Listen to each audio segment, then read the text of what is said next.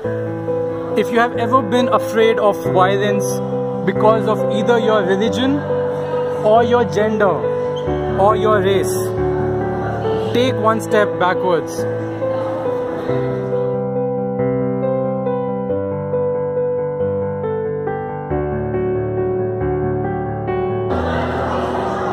If you ever took a family summer vacation outside the country, take a step forward.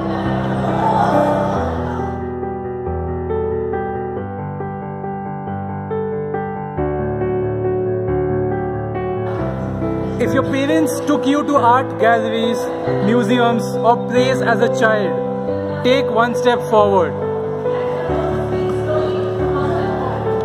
If you ever tried to change your appearance, mannerisms, or behavior to avoid being judged or ridiculed by anyone in your life, take one step backwards.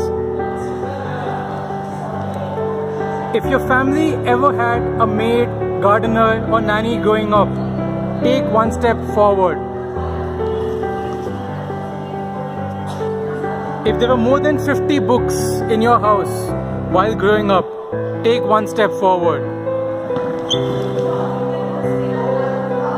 If you have ever been discouraged from taking part in sports or any other extracurricular activities because of your gender, race, appearance, or any other factor beyond your control, take one step backwards.